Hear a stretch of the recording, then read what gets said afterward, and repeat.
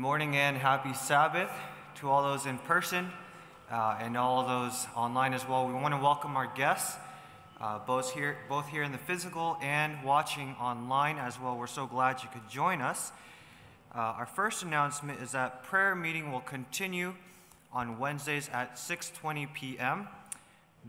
It will be both online and in person, so you'll be looking forward to that. Uh, the 10-day immersion program by Dr. John Kelly uh, for those needing health recovery is nearly full, and what I'm told uh, is at the 20 limit cap, but they still do have a waiting list, so sometimes uh, things do happen to where you're able to fill in where someone uh, used to be and they opted out. So uh, to know more about that and to get involved, please call the church office very soon as they are closing up. Our village school is having a virtual Christmas program that can be viewed both on YouTube and Facebook next Sabbath evening at 6 p.m. Uh, this will be bits of pre recorded and live uh, presentations interspersed, so you'll enjoy a very nice uh, presentation by the school. Uh, only, only the children and parents are able to be here while the live streaming is being recorded so you can enjoy it from home. Uh, again, that is next Sabbath at 6 p.m. The Montana mission leaves Thursday morning, and if you have any donations of warm coats, uh, boots, hats, gloves, or scarves, anything you might think that uh, the people might need in cold weather, please donate them by this no later than Wednesday. They need to be able to have it so that they can pack it, and ship it off in time.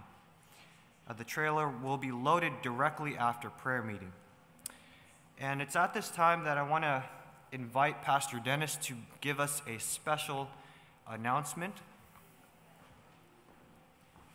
Thank you. You know, there's a lot of things happening out there in the world in the social media, but there's a lot of things happening in the world as the Spirit of God is moving on individuals' lives. Every once in a while, I'll get an email from the Ellen White Estate, and just received one on November 30th, talking about how many people are coming to the website and downloading books and other items and study material. It goes on to say here, just this past week alone, we had 1.25 million visitors who viewed 2.7 million pages and made 46 million search queries on E.G. White Writings website and apps. In addition, last week, users downloaded 650 terabytes of data from 7.2 million audiobook and book download requests. Our servers delivered a staggering, now I want to see how many hands go up when I mention this word, this term, 2.5 petabytes of data. How many people know what a petabyte is? All right. A petabyte is a thousand gig or a thousand terabytes. So our servers delivered a staggering 2.5 petabytes of data to 27 million global user requests this past month. Now they go back and they compare this to November 2016. In November 2016, they had a weekly average of 700 and, or um, 7,500 people visiting their site. Now they have 1.25 million people visiting. All right. In November of 2016, this, they served just 45 gigabytes of data. Now they're putting out 2.5 petabytes of data. I want to encourage you to visit the site. I want to encourage you to invite others to visit. I want to encourage you to think about how you can support the Ellen White Estate because they're at a point now where they need our support more now than ever. God's moving mightily, friends. Let us walk with Him and follow along and not lag behind. Praise the Lord for what He is doing. And the other thing I would say it is another praise, as many of you know, that last week I mentioned we're going down to Brazil here in a couple weeks. and there's four people ready for baptism. And I was just told the other day there's two more ready now for baptism. Amen? And so these food baskets that we're raising money for for Brazil, you can still partake of that. And you can either visit their website, globalthinkers.com, uh, .org, or you can visit us here at the Village Church and donate and mark your tithe envelope Brazil food baskets. This is going to help draw people into the gospel ministry as we share with them. Thank you. Can you say amen? Thank you, Pastor Dennis, for that encouraging update. Uh, there will be a blood draw here on Tuesday from 1 o'clock to 7 p.m. So please consider uh, if you're willing and able and eligible to give uh, this gift of life, consider what it will mean to someone in our area. So to sign up, go to the website listed in the bulletin or call the church office uh, on Monday. For further announcements, please check your bulletin. You'll find them in uh, the second page on the inside, and you'll see more about that also on the back as well. Village member Lydia Blosser has passed this week. She was 99 years old, and she taught here uh, in the church Sabbath school many years ago, and she moved into home care next door about a year ago after 10 years of declining cognitive ability due to dementia. So let's please remember to keep uh, her, her uh, two boys in your prayers and also her family as well as they go through this tough time. Uh, again, remember to please practice social distancing and to visit outside in the fresh air, uh, particularly not in the building. We want to continue to be able to uh, worship as we have been. So we want to ask that you please uh, respectfully cooperate in that. And we will now transition to our worship service, so let us prepare our hearts.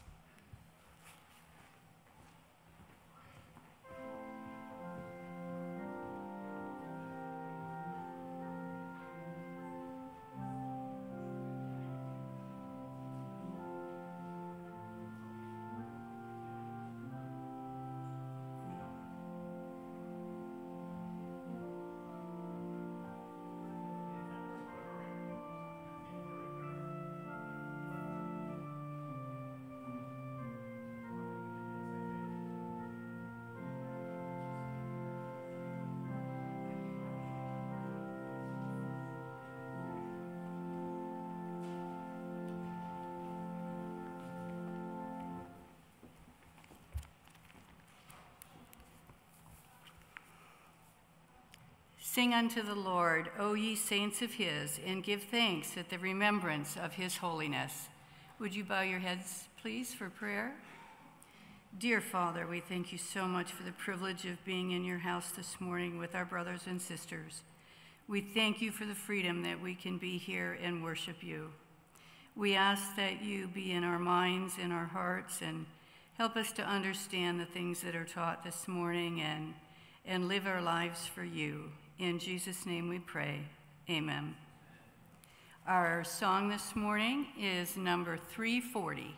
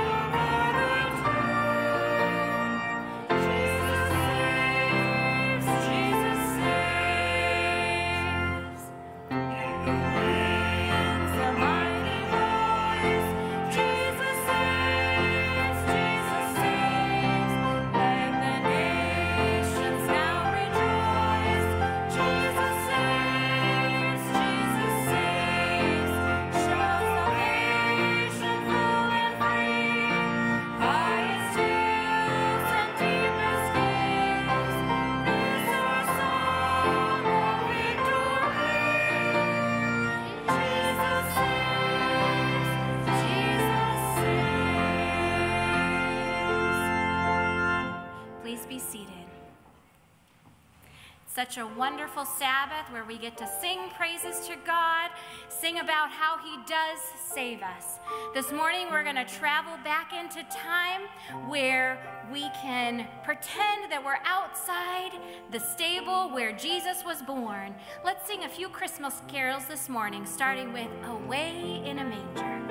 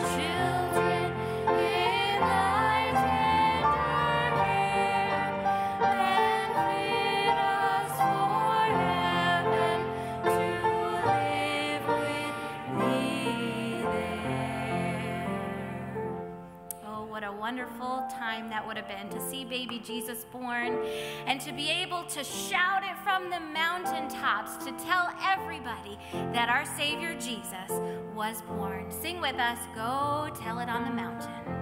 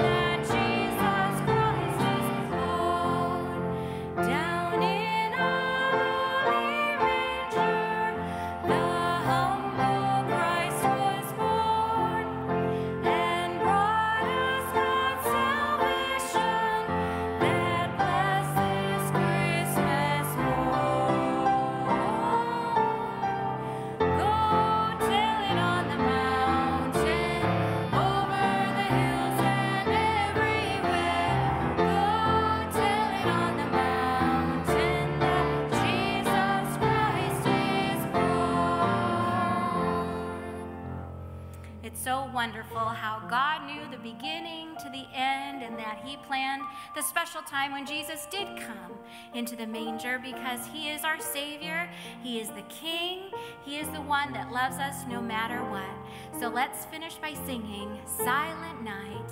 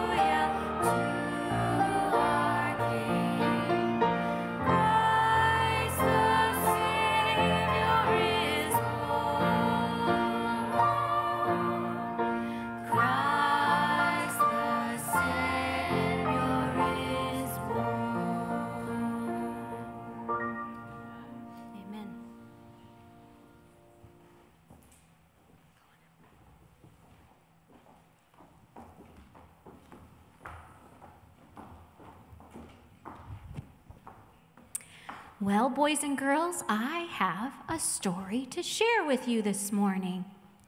Many of you go to school, and I bet your favorite time of the day is lunchtime, right next to recess time. That's pretty important, too.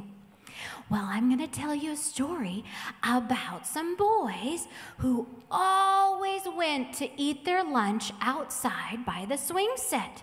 They took turns swinging on the swing while they were munching on their sandwiches or sipping on their apple juice. And there was one little boy named Bobby who always ate his lunch on the side of the school building. Well, the group of boys noticed that Bobby ate every day beside the school, and they got to talking. Why does Bobby always eat his lunch on the side of the building where nobody can see him. Well, they thought, well, maybe Bobby has some good things in his lunch that he doesn't want anybody to see. Or maybe Bobby doesn't bring much at all. Maybe, they said, we should sneak inside Bobby's lunch and see what it's all about.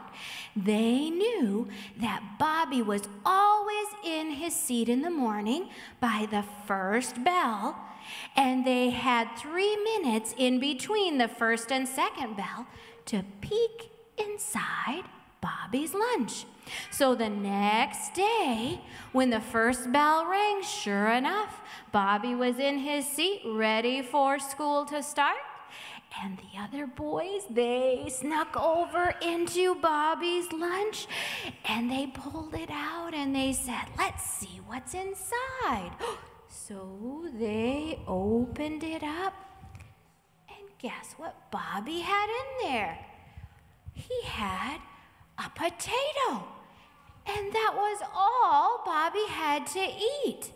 Well, that's not very much. If you had a potato in there, you'd be thankful for that potato, but you sure would be glad if there was something else in there. So that's probably why Bobby went to the side of the school so nobody could see him eating his potato. Well, some of the boys started snickering and said, You know what? Let's play a trick on Bobby. Let's trade out his potato for a rock. That way, we'll just see him on the side and we'll laugh at him. That's not very nice at all, is it? Well, at lunchtime, the boys waited on the side and at the swing set because they knew Bobby was going to get his lunch and he was going to go to the side. So they kind of peeked over to see. Well, Michael had gone to the office earlier that day, and guess what Michael did? Oh, Well, when Bobby opened his lunch, inside was a juice box. Wait a minute, I thought there was supposed to be a rock in there. The boy's jaws dropped when he pulled out a banana. There wasn't a banana in there in the morning. Pulled out, he kept pulling out. Some yummy pretzels were in there. What else was in there? A peanut butter and jelly sandwich was in there. The boys were shocked. The rock, for some reason, had turned into other food. and fruit snacks. Who doesn't like fruit snacks in their lunch? Oh, that's the best part. Well, guess what? Michael knew that it was more important to give his lunch to Bobby than to sit there and laugh at him. Jesus wants us to do kind things to others. He doesn't want us to trick people and make them sad. Don't you get excited when you're outside playing and you come inside and mommy just baked some chocolate chip cookies and they're still warm? mommy and daddy's love to give to you, grandma and grandpa's love to give to you. And it's getting close to Christmas time where we give gifts. Do you know why we give gifts? Because Jesus gave us the greatest gift of all. He gave us his life. So let's think about how we can be like Jesus and like Michael and give beautiful gifts to others so that we can bring joy to them all year round. Let's pray. Dear Jesus, come and live in our hearts today. Help us to be more like you and to be a light that shines to the whole world. In your name I pray. Amen.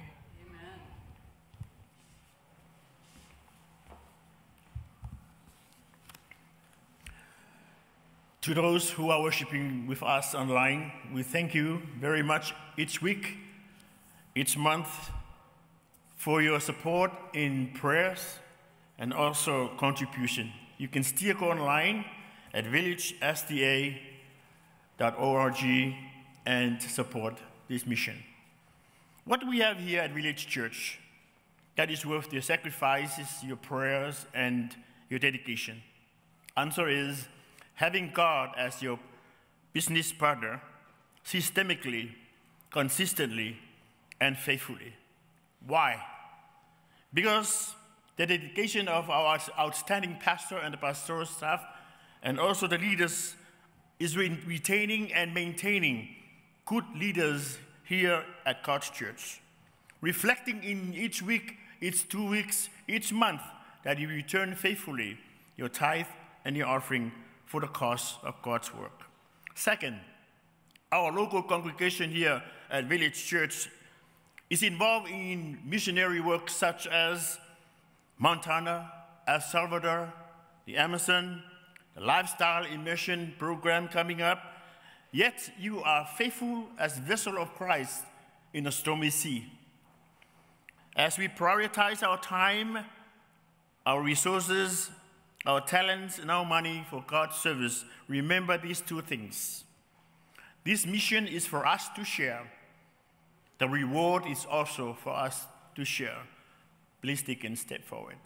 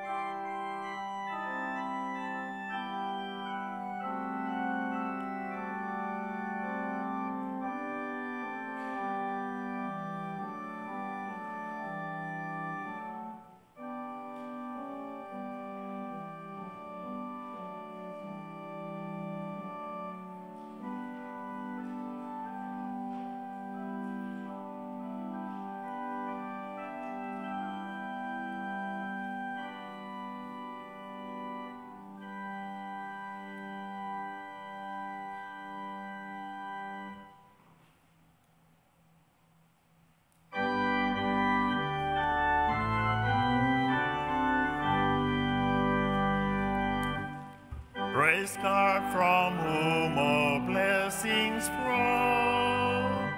Praise Him of creatures here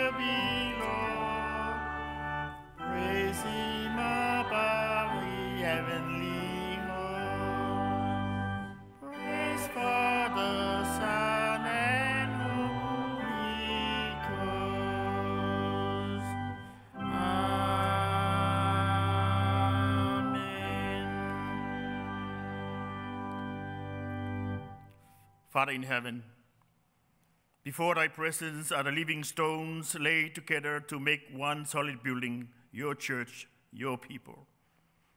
You have ordained us to assume our divine proportions before the world, and we thank you, Lord, that these stones can emit light as we are your workmanship.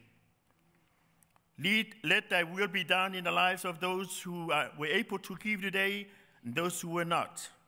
I pray for divine ministrations as you did for Daniel, as we give you a portion of blessing through the tithe and offering that thou hast bestowed upon us as part of this church to advance the purity and the knowledge from light to light and glory to glory. We lift before you this sacrifice, Lord, This tithe and offering as we give to you in the abundance of blessing that you have given to us. Here are your people. We want to be the court of the holy life, filled with varied gifts, endowed with the Holy Spirit as we find happiness of the city on the hill. As this part, Lord, heaven is watching, and we thank you for the blessing. We thank you for the sacrifice. Please accept our response to your loving and your care for us. Bless their hearts as they willingly give to you. For this we humbly ask in the name of Jesus. Amen.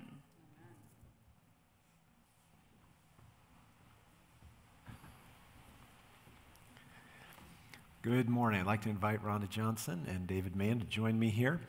You know, uh, Pastor Kenny just talked about in his prayer our church assuming the divine proportions that it should have in this world. And uh, years ago, back in 1959, something started in the Seventh day Adventist Church that was revolutionary. It was called the Five Day Plan to Stop Smoking. It began five years before the Surgeon General would tell us that smoking was even bad for you. Okay, so that means for five years leading up to that, nobody would say that. You know, science is not everything some people make it out to be. There are moments when science is either out in front the wrong way or lagging behind in the wrong way. We had at some places over a thousand people come out for those five day plans. This church is to be the head, not the tail. And we are in a position right now where I believe God's giving us an opportunity uh, some of you may not know this, but at the beginning side of the COVID experience, the state of Indiana was giving a certification with one and a half days worth of training. And that certification was to assist in the medical fields, probably with things like CNA work, etc. As I was listening to that one morning on my radio, I'm thinking to myself, we need to come up with a way where we can create some credibility for what we're doing with methods that actually are proven physiologically. Wouldn't you know it, a little later this year, Dr. John Kelly, uh, who is a founder of the American College of Preventive Medicine, came here during camp meeting, visited with me, and offered himself to participate with us in initiating a training module that will both bless people and train others so that we can have a credibility that comes in this age of uncertainty. Rhonda Johnson is not only our treasurer, but she is very keenly interested in the ministries of this church, health ministry being one of them. Tell us a little bit about what's happening. We have this immersion program and this training program coming up. What's happening? Both programs are full, but we are still taking names in case somebody needs to drop out for one reason or another. So still feel free to call into the church office, talk to Tony or myself, and we'll put you on the list. And we're also looking for volunteers, hydrotherapists, massage therapists, people to do laundry for all the towels that are going to be used during hydrotherapy. We have bookkeeping works that needs to be done and kitchen work. And so if you're interested and have any time to spare, give us a call. And so we'll be doing this the starting February 1 February through 1 February 19. Okay, so that kind of includes the training module for those that are actually going to be trained under Dr. Kelly. And then a few days into that, the immersion starts. So we have 20 people signed up for the immersion, and we have 15 people 15 signed people up for the, the training. Training. Okay, good. It wasn't cheap, and it's not cheap to run this program, so we're That's not out to make money. But it is a good price compared to if you go to. Well, it's like a fourth of what you'd pay somewhere Right. else. So we're trying to do a professional program, and we have to have a little bit of money to do it. And so what we're trying to do is offer something that really could be done. We are offering scholarships to some folks, but that phase is pretty much closed. And uh, we do have a waiting list, and it's possible if you're on that list, you could still be involved. But if you want to volunteer, you could still be a part of assisting in, in a variety of ways. So call the office, get a hold of you or Tony, and uh, we're anticipating something pretty exciting. It takes twice as many people to put on this program as the participants. Okay, well, that's probably how it is in a lot of things. You don't see all the behind the scenes. So, but your your the health ministries team is working very closely together. Mm-hmm. Good spirit, excited about what's going on. Lots of volunteers. We still need some more. So it's going to be a- an amazing event. So praise the Lord. Now, David, you joined this. You you are a very uh, organized individual and missionary-minded person. And we had a conversation the other day, and you were open to becoming in partnership with Dr. Kelly and our health ministries team, the program director for this event. Tell us a little bit what's on your mind. Well, I was so, thank you. Uh, I was so thrilled to join this team as a program director. It's such a wonderful team working with Pastor Kelly, Dr. Kelly, and Rhonda, and the Health Ministries uh, team. Um, we had a meeting on Thursday night, and we uh, were looking forward to having a wonderful event. Um, to add on to what Rhonda said, uh, if you do have any interest in volunteering, we really do need some more volunteers, particularly in massaging and um, the hydrotherapy. Uh, so let us know if you have training in that, and we will work with you. Um, we're so fortunate to have so many people in this experience who are dedicated to the mission of, uh, of health uh, of health, and they're, they're willing to work on missionary wages and, and to volunteer their time. And we're so fortunate to have so many people who are dedicated to this amazing experience, to making people healthier. And uh, as Ellen White has said so clearly, this is the right arm of the gospel. This shows people that we care, but beyond that, we have to realize the body and the mind are, are one. And if the body is feeling good, it's going to make the spiritual side happier too. Amen. So we were in staff meeting this week, and I was saying with Pastor Jonathan, you know, we need to get that ad over to the Lake Union Herald. And Rhonda pipes up and says, There's no more room. So there's no need to send the ad. So we saved a little bit of money. So uh, you like saving money, don't you, Rhonda? Right. So do I. Folks, I want you to be praying. I really truly believe there are hundreds if not thousands, of other churches in this division and around the world that could do this kind of ministry. I believe there are other doctors and nurses and physical therapists that could commit themselves to learning these things and reinvigorate the right arm of the gospel, the health message in our denomination. We can be the head, not the tail. But it's going to require a completely different level of commitment. It's not an act of convenience, it's an act of consecration. So this morning, you may not be able to do very much. You may not think you're gifted in anything. You might come out the other side of this with a few more gifts than you imagined. If you have a spirit to help and you have a little extra time, this is an intensive program.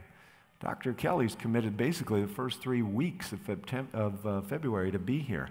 And all these volunteers, between trying to squeeze this in, t- some taking uh, time off for work, and of course, some of these practitioners uh, we have to give a missionary wage to because they're missing out on money where they need to be making money other places. But this is not a money making program, it's a ministry. It just so happens that it's going to take a little bit to do it. We're not asking you to donate to it, uh, we are asking you to pray for it. And if you have a willingness to help, that would be fantastic. I want to ask God's blessing on the health ministry team and two representatives of that team right here and Dr. Kelly. So I invite you to bow your heads as I pray for this ministry. Lord, I thank you for what you do. You just keep giving us opportunities to achieve the successes you intended for Old Testament Israel and you intend for New Testament Israel. And so now, Lord, I'm asking that you'll bless Rhonda and David and the health ministries team. Bless Dr. Kelly as he has this heart to do this. He could retire and live comfortably. Instead, he desires to bless humanity and win souls. May we all partner together. I pray, move on the hearts of other uh, healthcare providers. Uh, thank you that you've said when we seek first your kingdom, you'll add everything else to us. So help us not to be afraid, but help us to move forward, Lord, trusting that if you prompt and you convict, you will guide and you will provide.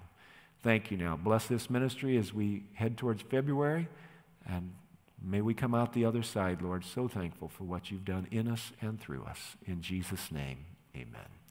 Thank you both. God bless you, and we will continue with the service.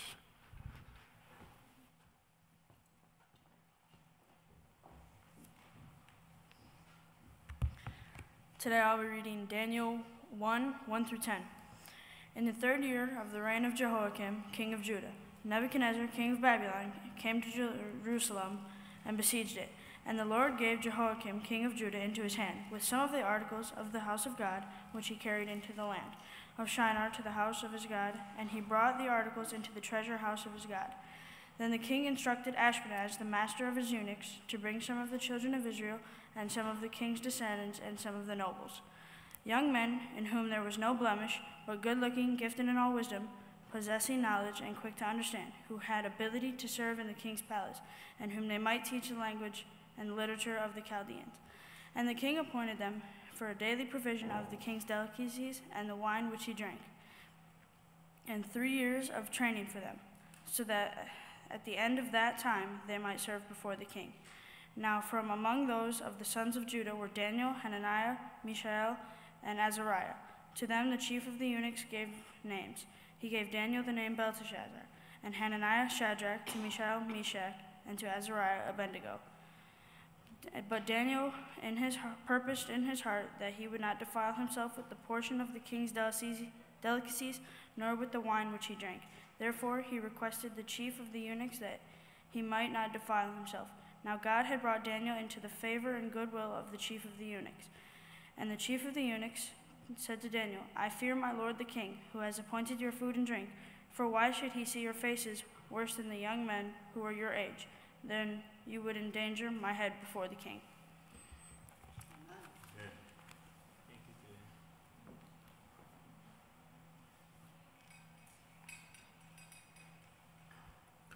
Would you pray with me?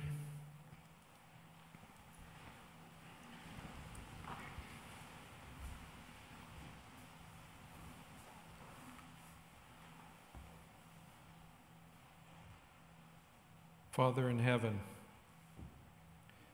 we come to you and recognize you again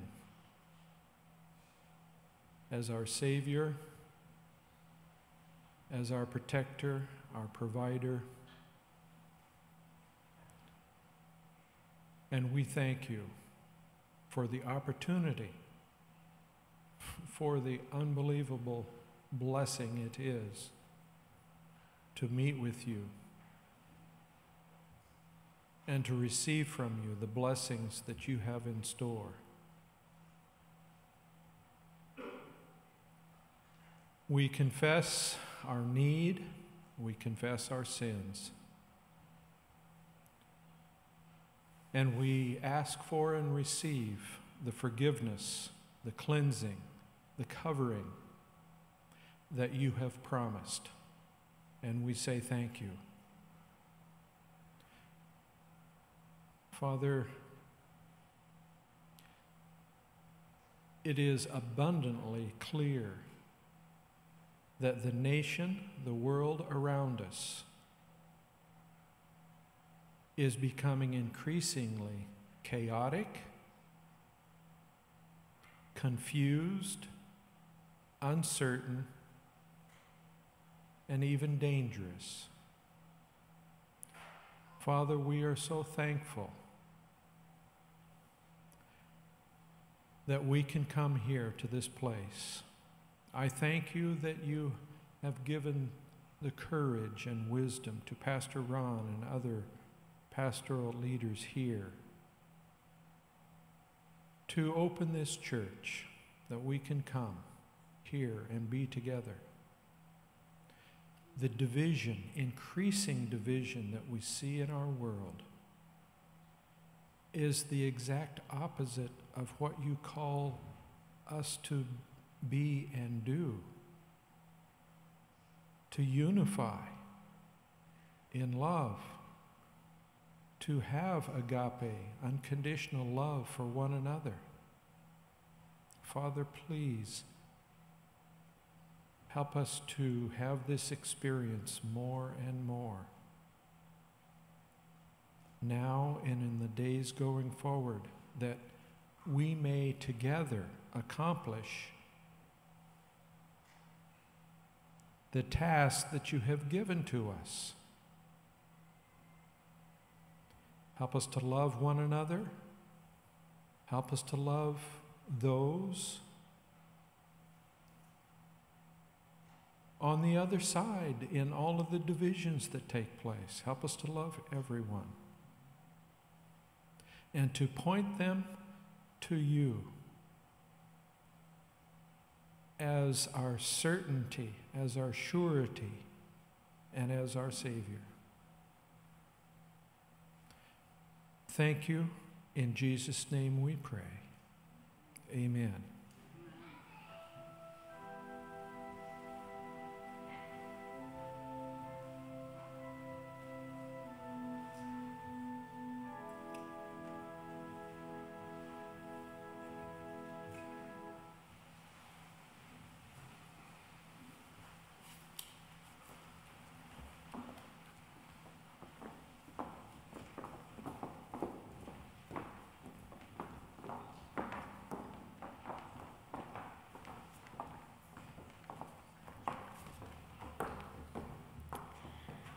Such a special day when a little baby is born.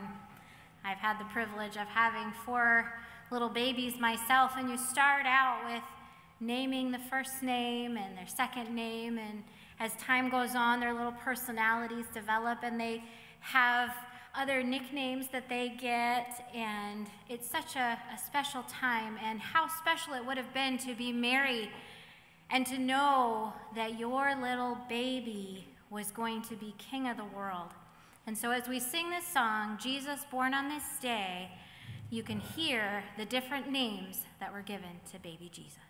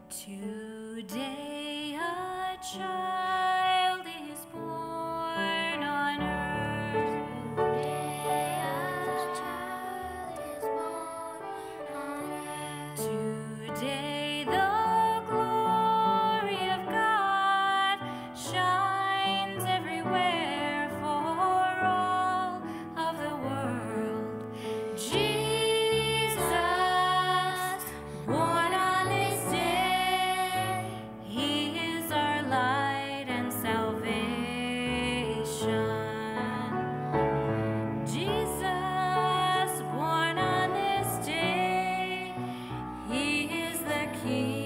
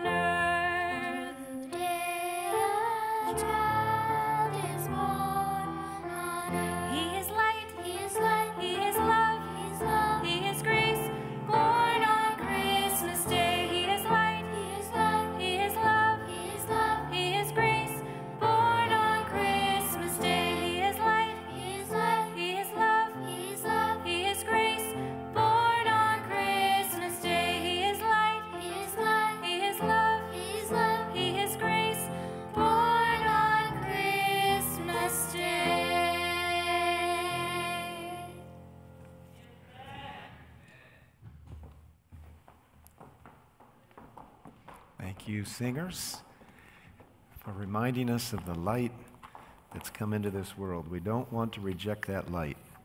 May God guide us as we make this journey. Nice to see you all here today. Let's ask God to bless us as we open the Word. Father, thank you that we live in a free society, that we have the opportunity for proclamation and praise. I'm asking, Lord, that you'd make us good citizens, humble, teachable. May we do justly, love mercy, and walk humbly. May we be the salt in a society that preserves. May we be light as we let you be reflected in our lives. And now bless us as we open the word in Jesus' name. Amen. This morning, I'm coming to the close of a series entitled Risk and Redemption. I want to remind you just a little bit of what the, the preaching or homiletical journey in this church has been since COVID.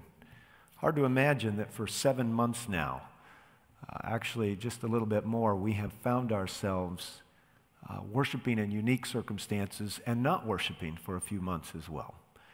In the beginning, uh, at least we weren't worshiping together. In the beginning, most churches across the nation, including in this state, including of this denomination and this conference, we closed for a while. And after about two months, there was a sense that this was manageable and that we needed to get back on with life. So, on the first Sabbath in June, this church opened back up, and that brings us up to today, where we are managing in the midst of a continuing COVID element. To say anything less than to say our society has been COVID defined right now would be a false statement. The question I have for you this morning is how COVID defined should our society be? This is really the issue. I'm going to look at the life of Daniel as an old man, going into the potential death of crushing by the jaws of lions. Before I do that, I'm going to create a challenge. And I know I'm going to create it. I think it's my job sometimes to create it, but I'm careful. I don't pass on much information. I don't see myself as the ultimate sieve with the ultimate discretion. At the same time, this moment, for those of you that are gathered here and for those that will watch, is a portal through which some measure of responsibility and opportunity do exist. I weigh those things out very carefully. I've stood in this pulpit before, and, and before I've gotten to the pulpit, I've heard elders say things that are nothing less than divine prompts for the preacher, and they don't know it. And this morning, while I was back here listening one of our elders said something that prompted me. Last night, I had an elder send me something after I'd gone to bed. They sent me a text, suggested I look at something. I had another elder point something out to me this week, and I had another elder before him. And pretty soon, the preacher, hopefully, can be wise enough to discern that God is shepherding the process. So I'm going to do something that will be potentially controversial, but that's okay. Truth is always to be found for those who want to find it. And if something I say is wrong, I want somebody to show me. I am not out to create a narrative. I'm not out to attack a narrative. I'm out to create a path where light shines and people can move with some measure of freedom and liberty. So, listen as a Berean and check it out yourself. If you go to the Berrien County COVID dashboard, you can find some interesting statistics. Now, because our society is COVID defined, it is my understanding of watching things happen. That we're seeing the societal ramifications or results of a consumer mindset on the lives of people. Consumers open their mouth and producers pour it in. Consumers are receivers. Consumers have expectations. Consumers are not risk takers. Consumers are at the top of the consuming pack. So, why am I spending this time? Because I am confident that the lever of the final apocalyptic attack on God's people is built around nothing more and nothing less than fear. And that's why this morning I'm going to do this in the last of seven sermons on the life of Daniel. I'm going to interject into the dialogue something for you to pursue and think about, something for you to pray about, something for you to wrestle with. If you go to the Berrien County COVID dashboard, you'll learn these facts. This is the county where this village church is located. That to as close a date as reportable, 7,432 people have either had confirmed or probable cases of COVID. That's out of 154,000 people.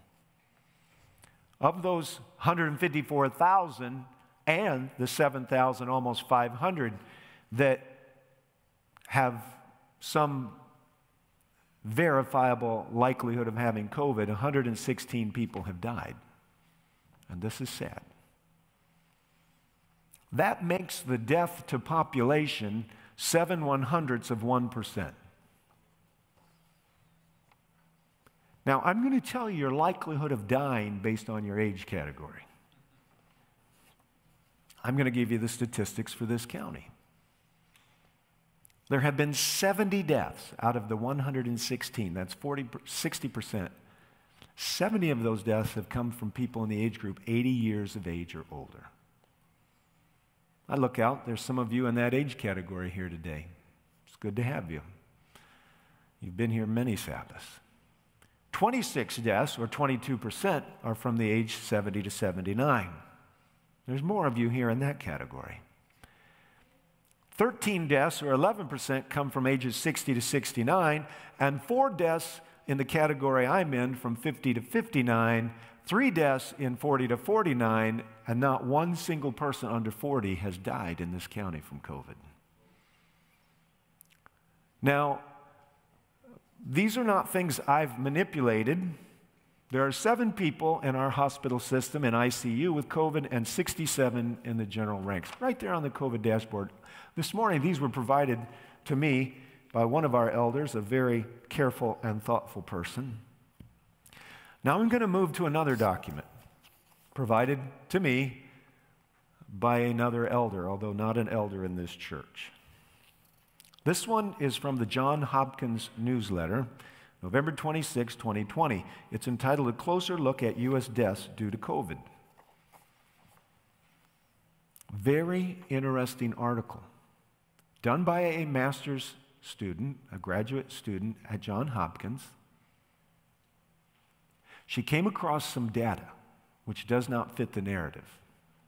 And when I say the narrative, I mean the messaging that tends to make us afraid.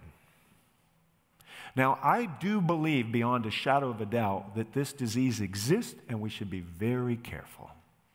I believe beyond a shadow of a doubt that you should make a wise, prayerful, informed decision about how you circulate in public. I do believe beyond the shadow of a doubt that public gatherings should engage a measure of caution and carefulness.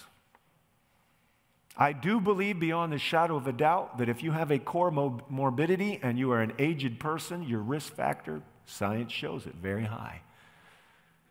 And I'm also convinced after looking at this article, again, brought to me by somebody I exceptionally respect, that we ought to get the full story when we're making our decisions so that we can do it. And you say, that sounds conspiratorial.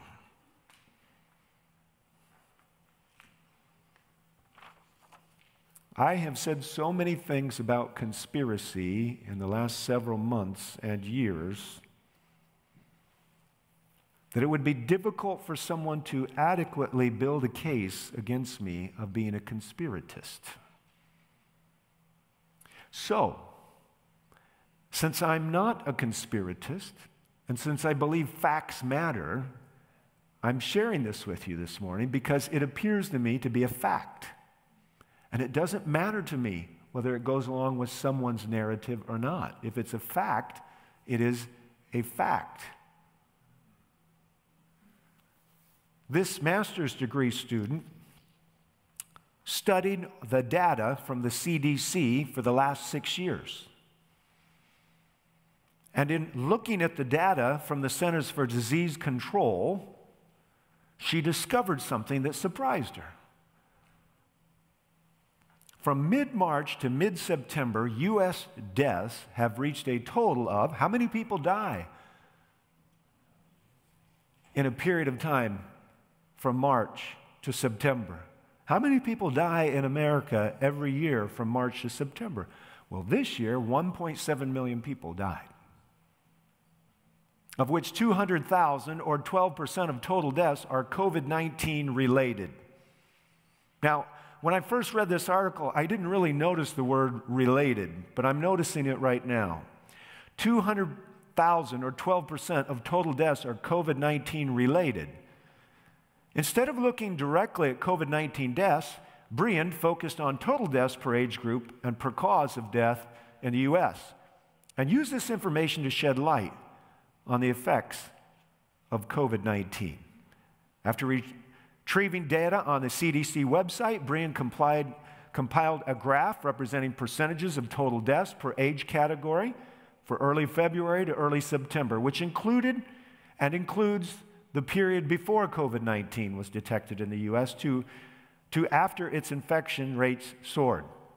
Surprisingly, the deaths of older people stayed the same before and after COVID 19. Since COVID 19 mainly affects the elderly, experts expected an increase in the percentage of deaths in older age groups. However, this increase is not seen from the CDC data. In fact, the percentages of deaths among all age groups remain relatively the same. The reason we have a higher number of reported COVID 19 deaths among older individuals than younger individuals is simply because every day in the U.S., older individuals die in higher numbers than younger individuals. Briand also noted that 50 to 70,000 deaths are seen before and after COVID 19, indicating that this number of deaths was normal long before COVID 19 emerged. Therefore, according to Briand, not only has COVID 19 had no effect on the percentage of deaths of older people, but it has also not increased the total number of deaths. Now, I have in my hands at this very moment as I speak to you something you can look at for yourself. I have a graph that maps all the leading causes of death for six years. And so you've got heart disease, and you've got lung issues, and you've got influenza, and you've got all these things graphed across here, and you can see they go up and down, up and down, up and down. It's seasonal. And then you come to March of this year, and something unique happens to this graph, and you can't see it from where you're at. All of those data lines start going down. And there's a reason. They all start going down, and there's another graph here that describes how many less people are registered as cause of death as heart disease, chronic respiratory, Alzheimer's, diabetes. Almost all of these numbers plunge. And that's because when a person dies with a comorbidity, the comorbidity is not recognized as a contributor to death, only COVID 19 which means that while COVID 19 may have precipitated death, it was not the underlying true cause of the death. And so, if you have if you have dynamics of heart disease, congestive heart failure, and you get COVID, you'll be listed as dying from COVID, even though it was the congestive heart failure behind the scenes that had really set you up for your final days. Now, none of this was going to be recognized until this lady did her research. And then all of a sudden, you will see there, are not, there is no spike in deaths in America. Why does it matter to me? Because as this, as this article points out, she says, This comes as a shock to many people. How is it that the data lies so far from our perception? Now, I want you all to think about that. How is it that the data lies so far from our perception? Now, why spend the time? Because there are people, I had somebody mention it to me yesterday. There are people who are deathly afraid that this is going to get them. And if you have a comorbidity, this might be the journey that brings our lives to an end. But the idea, as a follower of Christ, of living in fear is completely contradictory to the things he asks us to do, which will create fear if we don't have a sense in the living presence of a living God who sends us on living messages, living journeys with living messages for dying people. If ever there were divine birth pangs going on on the face of the planet, let us not forget that COVID 19 is the first global birth pang in many of our lifetimes. And I think some of us have given up an awareness of what that means. But if it is a global birth pang, it means that global deliverance is on its way and that the baby of deliverance, born 2,000 years ago, will come back as the Lord of life and destiny and eternity. And everybody ought to know who that precious little bundle of light was who was plopped down into this cesspool of darkness. If ever there was a time for the church to be about its business, it's now. But in the name of misunderstanding and good science, some would think that wrong engagements, and yes, some wrong engagements could be presumptuous, but some would think that engagements in the name of Christ are ancillary. They're, they're out on the periphery of importance. They're not central and centered in the organized efforts of God's people. Now, as I was listening to Pastor Ramoni, I heard references to some things that matter to me. Writing in the Review and Herald, December 4, 1900, December 4, the church on earth is God's temple, and it is to assume divine proportions before the world. Did you catch that phrase when he used it? Divine proportions before the world. Well, I want to know what does a divine proportion look like? Does it mean a little bit less, a little bit less until we're gone? Or do divine proportions look more like the expanse of the cosmos? Do they look more like the massive mountains? Since Daniel interpreted a dream where a, a, stone smites all the images of this earth and grows into a mountain, I suspect that divine proportions on a little earth look pretty big. But I want to know who are we to suggest otherwise by lives of convenience. I'm going to skip an awful lot of it, and I'm going to come down to the last paragraph. The church is God's fortress, his city of refuge, which he holds in a revolted world.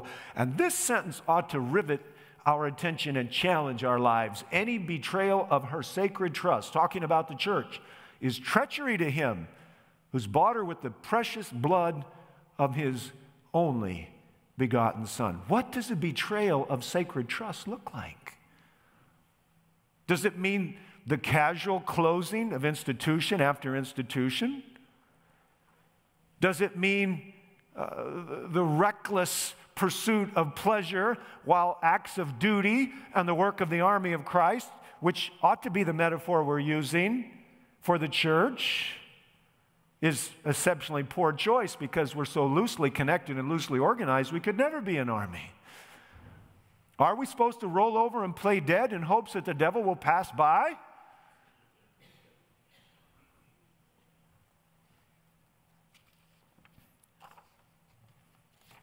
We may expect from the history that is given us of Daniel that God will work for us as he did for Daniel.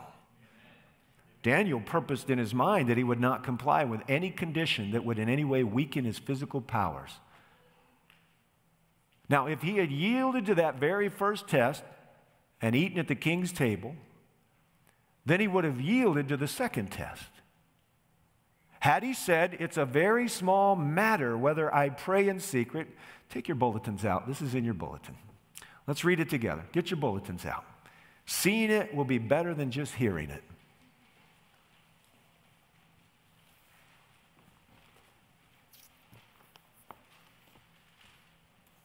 Now, I took a few sentences out for the bulletin, so if I read something that's not in your bulletin, you'll know why.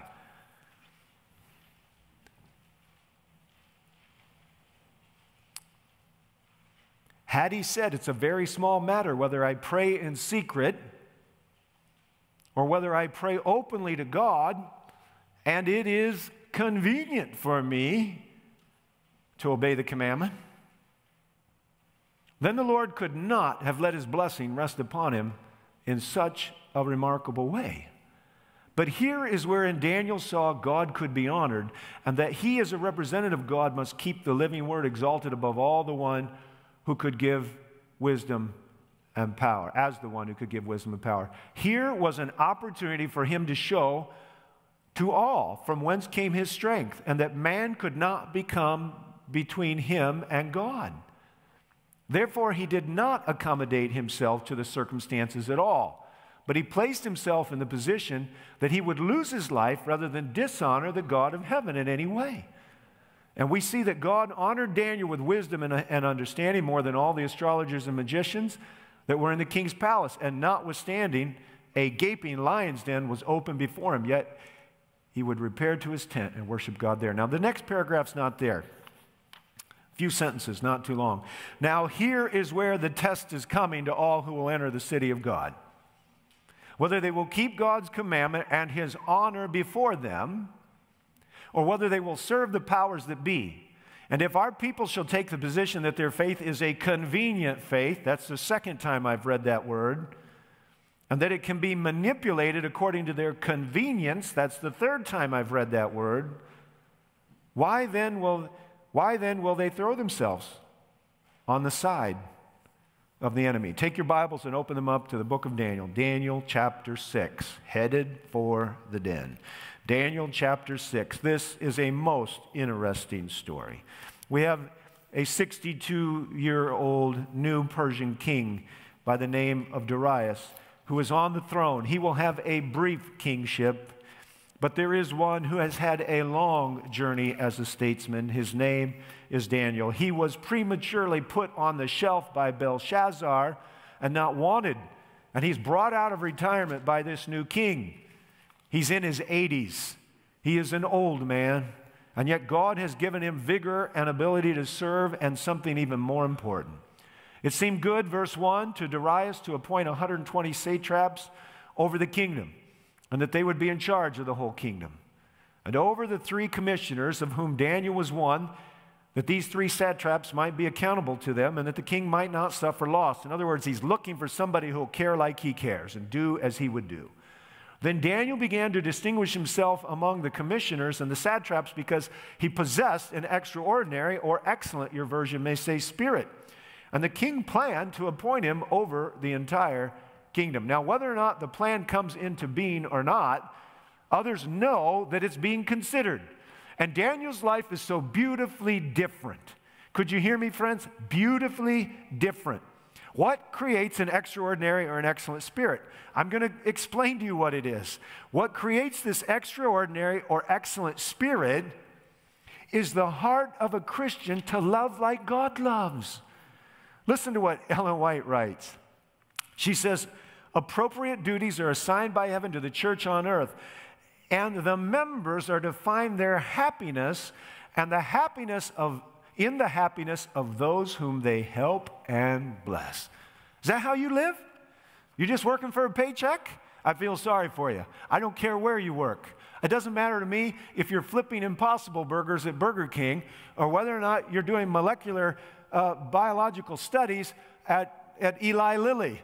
The truth of the matter is, wherever you work, you're to work serving for a higher order, and that is to find your joy in loving and blessing the people around you. So if you're mowing grass, mow it better than anybody else. And no matter what you're doing, do it a notch above because you care, not because you're biding your time to get a paycheck. Christ actually calls us to be just like Daniel, which is how credibility gets its first connection. Daniel was distinguished not because there weren't other smart people and other gifted people, but because the presence of Christ in his life created a element, an atmosphere of person that stood out above the rest because he genuinely cared about everybody. His boss, his coworkers, I believe he genuinely cared even about the connivers that wanted to take away his life. And if you're not living like that and you learn at home, if you can't go to the dish sink and put your hands in the soapy water on behalf of a ministry to the family, well, you're missing out. The truth of the matter is, is that God's calling you to find your happiness in blessing and serving others. But in a, in a consumer society, that's not how we're taught to think. The guy with the money is the one who gets served. The gal with the finance is the one who gets the best service. But the church of God is different, and the people of God are different. Are you willing and wanting to be that kind of person? That's where we're at. And without that kind of credibility, you won't be easily distinguished from the rest of the smart people.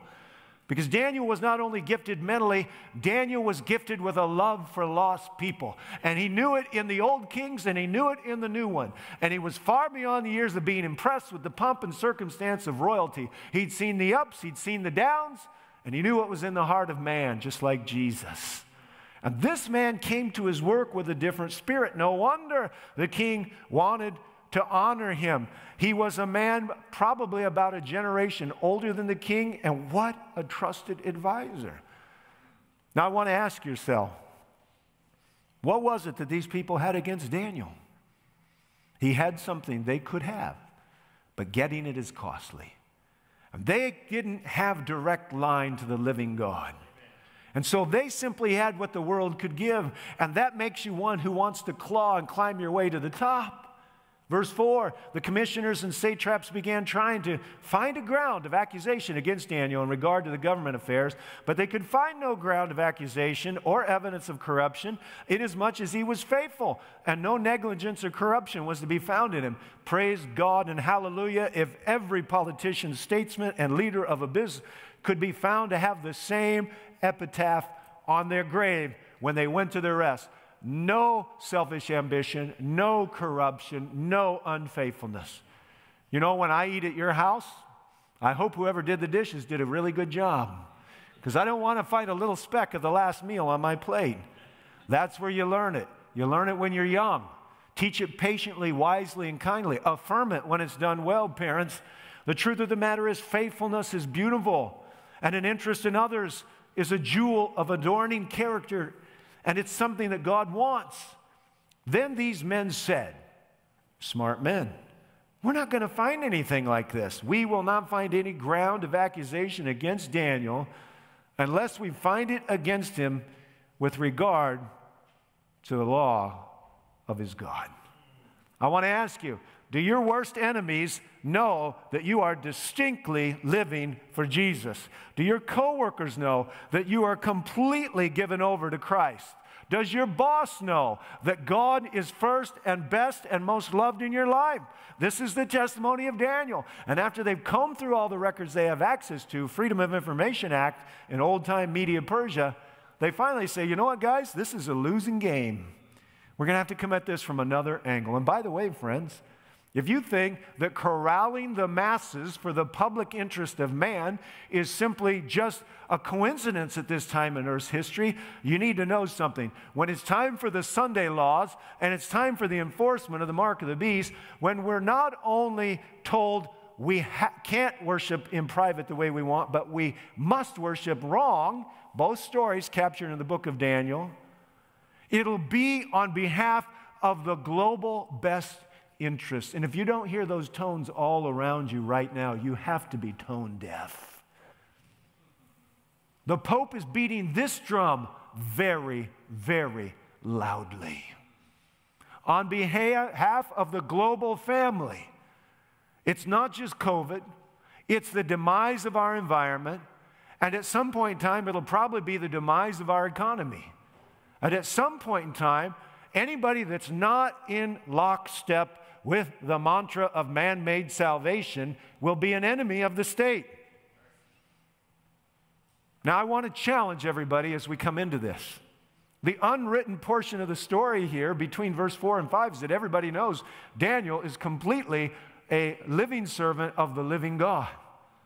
If we're not living our lives openly, if we're just meandering through life like a pinball from one pleasure to another, if there's no structure in our life, if accountability and duty never direct what we're doing, we cannot have the freedom, the, the hope, and the power that this old man has. And you don't wait to get it till you're old. You find it today. Christ is waiting. He's here to offer it to you now.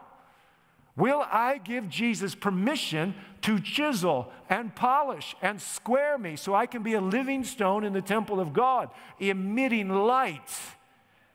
We're being asked by God today if you hear his voice, don't harden your heart. Here's Daniel as an older man, and everybody knows, even the king knows, but he's not prepared for the subtlety of the enemies of God. And they come and they say, King, we think this, should, this would go nicely on the books. Never changed.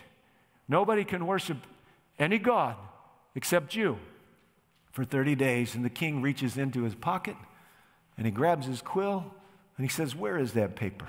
And he signs his name. Now, I didn't think about this in the first service. But you know, Daniel went from minding his own business, praying on the roof three times a day, looking towards Jerusalem. By the way, there's more than one way to pray. Solomon prayed standing up, Eliezer prayed standing up, Paul and many others, Jesus, Pray kneeling down. You pray in the right posture for the right experience, in the right place, in the right time, always with honor and reverence. Daniel goes to his home. Morning, noon, and night, David said in Psalm 55 17. Daniel will not allow the lifeline to be cut. And he goes up onto his rooftop he goes from minding his own business one day to surveillance state the next. Now, we don't know how many people were posted all around the quadrant of Babylon that he lived in. We do know there weren't all these electric eyes watching with all these databases taking notes digitally. But he goes from minding his own business, doing what he has freedom and privilege to do, to being the focus of attention for evil the very next day. Now, I'm going to challenge all of you, and I'm going to challenge our listeners. There are many who want to beat the drum of Romans 13, 1 and 2, which says you're just supposed to do what you're told and don't make yourself a nuisance to the state. And you know what? That's inspired directive. So, what gives with Daniel? And what gives with those people in parts of the world where you don't have permission to gather to worship and you sing under the table with several layers of quilts over it? You don't even read out loud. Are there not times and places where the directive of God runs smack dab into the mission and the worship of the living Christ and the reaching of the lost? We are to be broad minded and intelligent people who have a heart for the ones around them. And that excellence of spirit can't be subdued, it can't be stopped. Ellen White says the workers of God are aggressive, not timid, not retiring, not convenient.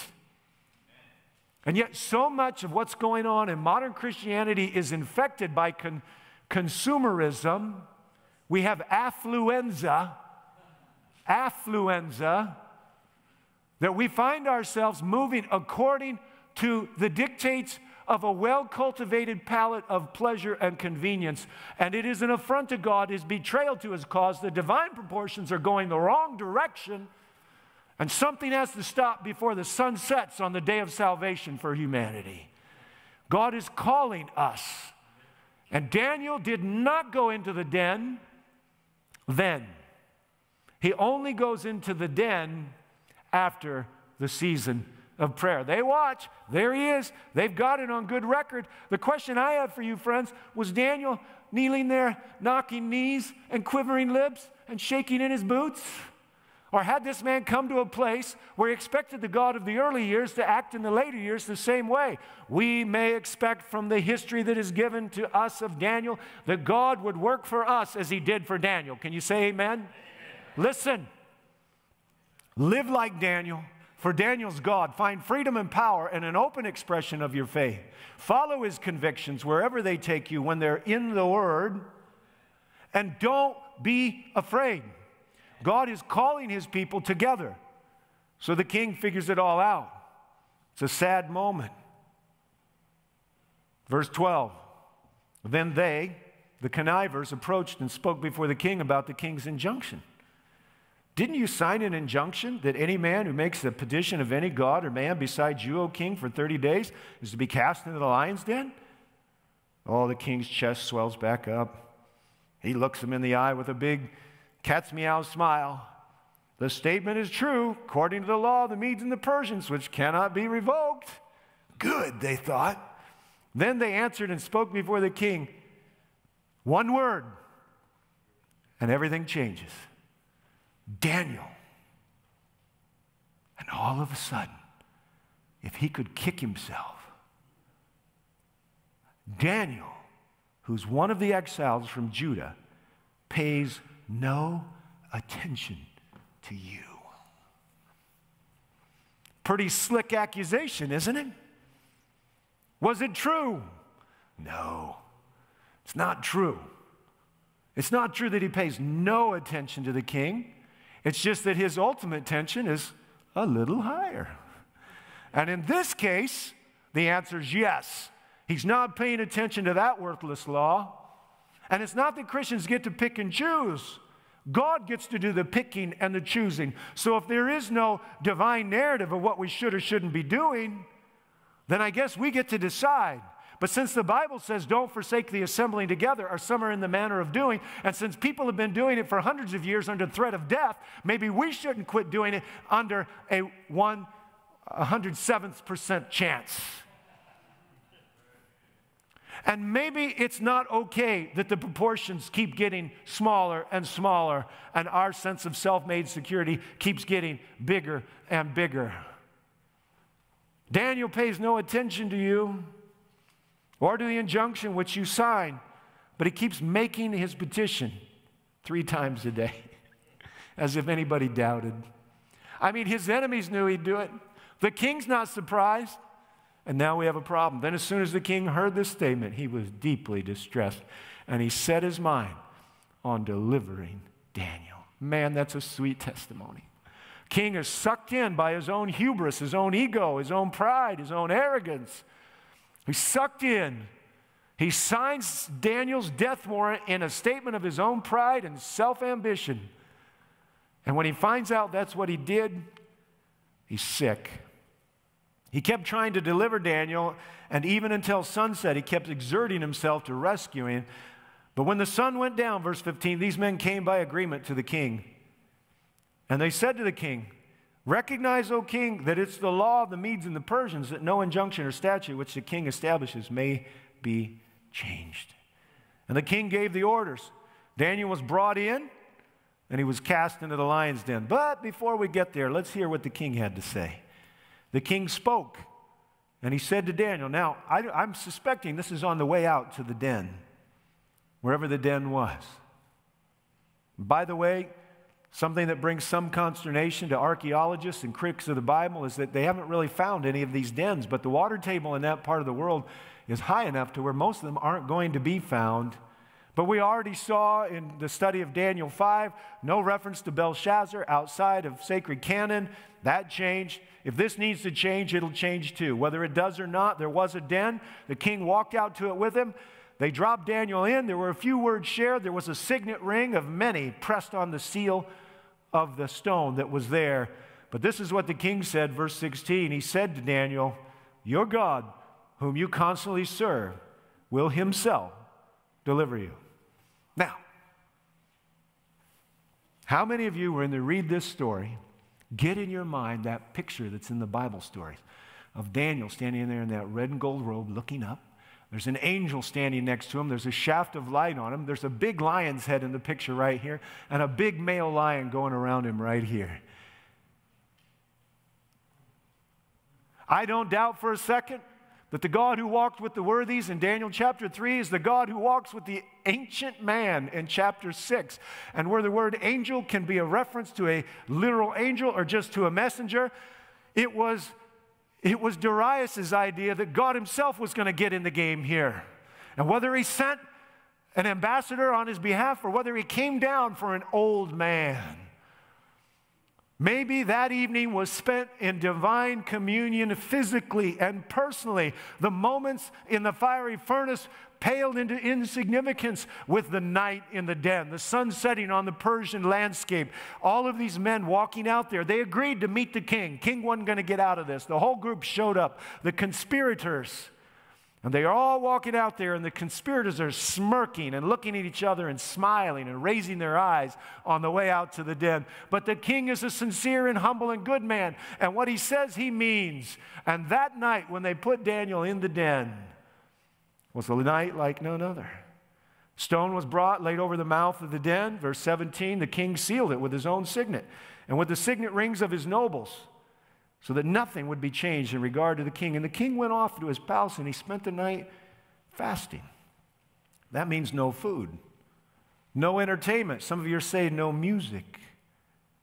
And the other thing we know he had was no sleep.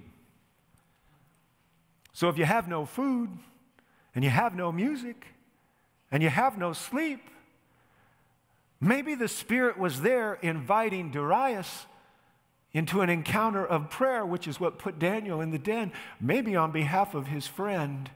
Petitions were arising in the heart of this king who will call Daniel's God the living God, who will profess amongst all of his worthless nobles, if that word can be rightly applied to them, that he believes God's going to get involved and he's going to be okay, who at the at the sight of the entrance to the den the next morning, we'll have that den shoved away, that stone shoved away. He'll look down into the darkness of the den and he'll call out in the name of God to see if perhaps God had intervened.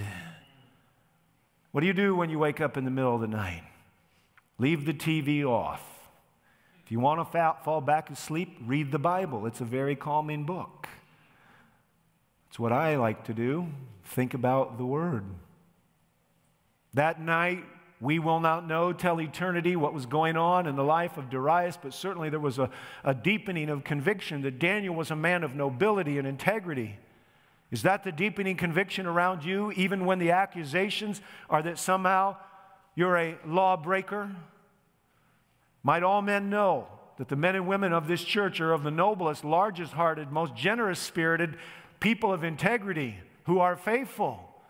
And that if they choose out of conscientious sake to continue to gather to worship, it is not to thumb their nose at the government of the world or the interests of public health, but that it is in the name of the Lord God that they come together to worship and to pray, to listen and to learn, to study and to share. God is calling his people to be committed with no betrayal of sacred trust, so divine proportions can be different and his kingdom can be glorified. And it's going to take some risk. There is no progress in dead calm. The salvation of men and the right witness of God will always involve risk. And if you live your life in any other way, you're on the wrong planet. You cannot run away from all the risk. You cannot mitigate all the risk. God has called you to walk in a way like he directed Joshua don't turn to the left, don't turn to the right. Stay on the narrow road. Nobody will be able to stand against you all the days of your life, and I'll prosper you in everything you do. Psalm 1 Don't walk with the scornful, don't stand in the way of the ungodly, don't sit in the places you shouldn't sit with the wrong people. That means vicarious as well. What do you mean, Pastor Vicarious? It means don't sit down in front of that device, whatever it is, and do the things you wouldn't do if your parents were there, or your wife was there, or your husband was there. Walk in the narrow way and don't be afraid. Either there's a real God who delivers his people, or it's all a pack of lies. And the sooner you find out, either way, the better. God's calling us. Daniel went into that den, and I don't believe he was afraid. He was dropped in carefully by the king's directive, I'm sure. The king arose at dawn, verse 19, at the break of day, and he went in haste to the lion's den. And when he come near the den to Daniel, he cried out with a troubled voice. The king spoke, and he said to Daniel, Daniel, servant of the living God, has your God, whom you consistently or constantly serve, been able to deliver you from the lions? And the sweetest music comes back to Darius, the voice of his friend. O king, live forever. My God sent his angel, and he shut the lions' mouths. And they've not harmed me inasmuch as I was found innocent before him. And toward you, O king, I've committed no crime. The king was very pleased. I don't think we can understand how exceptionally jubilant he was.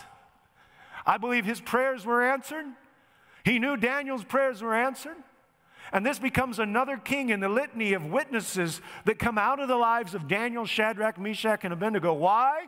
Because they weren't going to bend on principle and they weren't going to bend on practice when it was all about loyalty to God.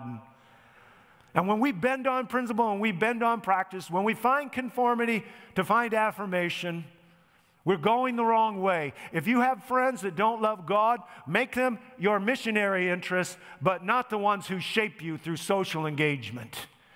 God's calling us to come together as a people to encourage and to love.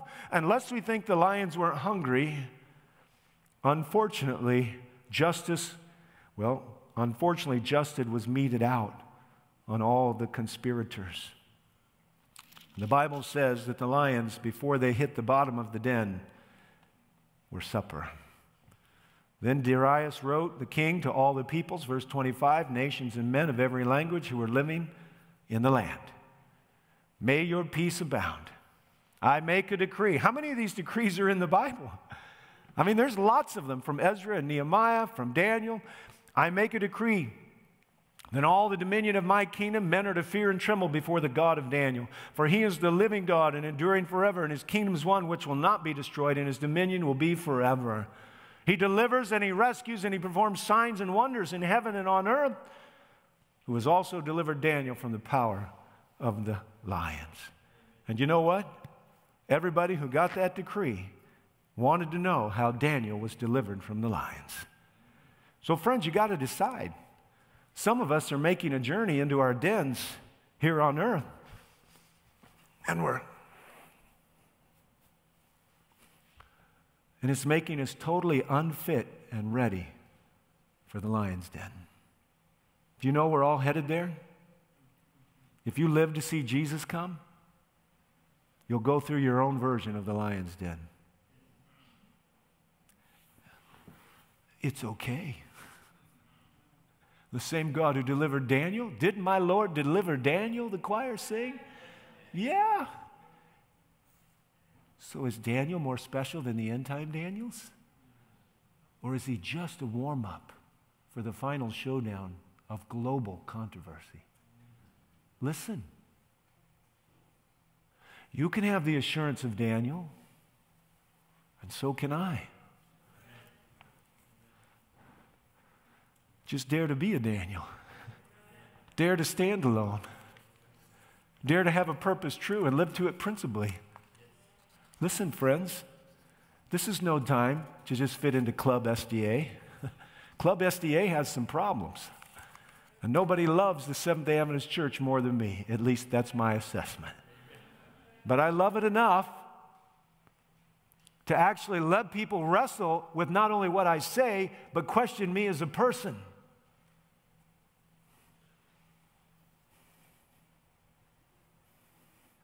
I don't want anybody's blood on my hands.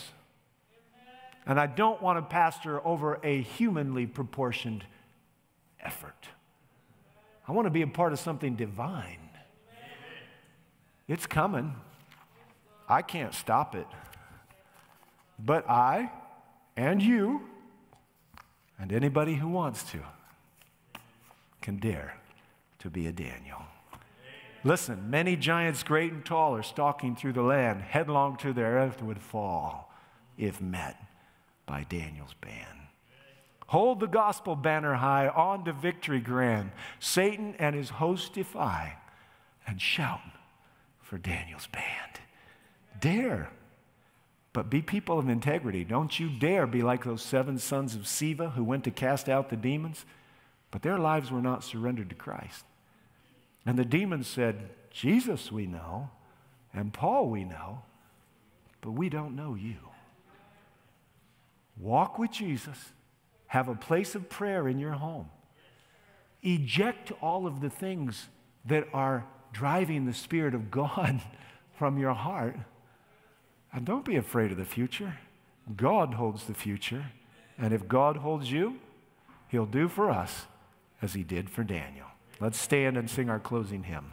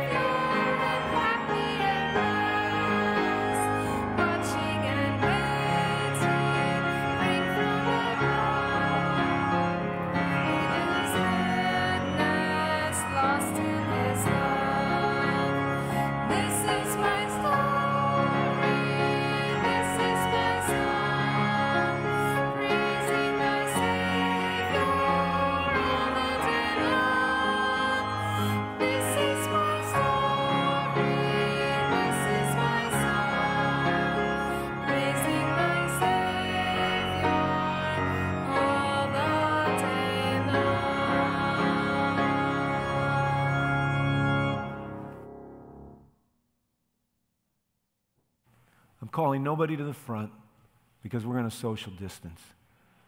But I'm not coming to the end of this series without asking you to make some decisions.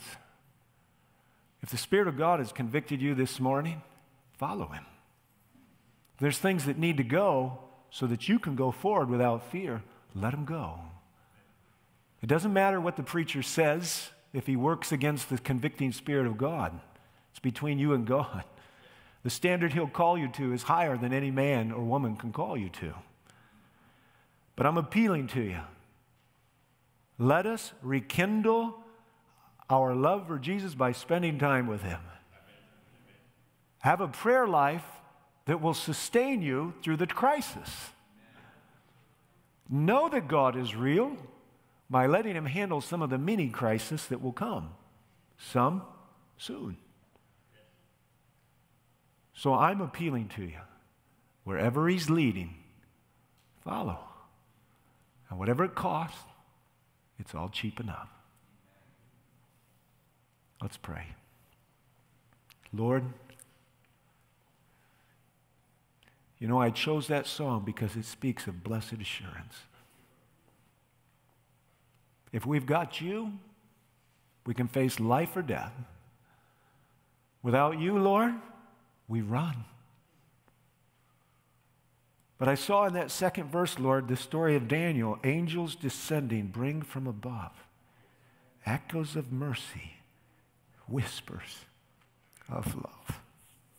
Old men should not be fed to lions.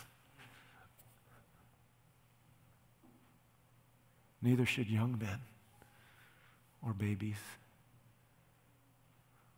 There are chapters in the history of this church which are terrible. Many through the years were fed to the lions. Lord, the devil goes about like a roaring lion looking for someone to devour, and that's a metaphor, it's a symbol, it's a image. But when that was written, the author said, resist him. So, as scary as the roar may be, and as fearful and foreboding as the path may look, when Jesus shows up, it's more than okay. May your peace reign in our hearts.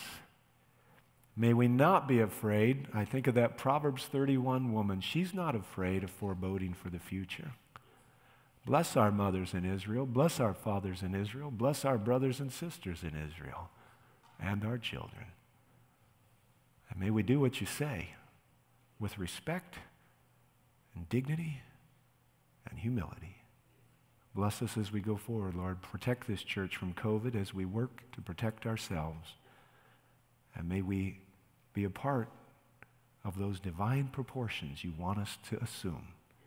By your directive and your provision, I pray all of this in Jesus' name. Amen. Please be seated. I am the pastor, your broken record. Which means, I'm asking you, please, when you leave this sanctuary today, dismiss from the back while a song is being sung, I'm asking you, please, to go out into the parking lot. Because while I believe there is a legitimate concern, you've heard me say in this message, fear is not to direct us, but we ought to have a healthy respect for what's going on. So I'm asking you, please stay socially distanced unless you're in a uh, immunological bubble that you've created with family or friends. I'm asking you, wear the mask if you need to, and I'm asking you also to stay home if you're sick. Okay? There's sanitizer on the way out, but please wait until you're dismissed by the deacons from the back. And God bless you on this Sabbath day with blessed assurance. As we're being dismissed, we'll sing Joy to the World.